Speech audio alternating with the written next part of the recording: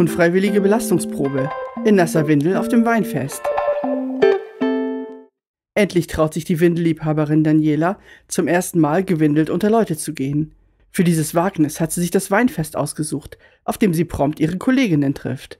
Glücklicherweise trägt sie einen Mantel, der ihren gepolsterten Po vor den Blicken schützen soll. Doch wird diese Maßnahme ausreichen? Diese und noch viele lustvolle Geschichten mehr findest du frei zum Lesen auf unserer Homepage edition-aurum.de.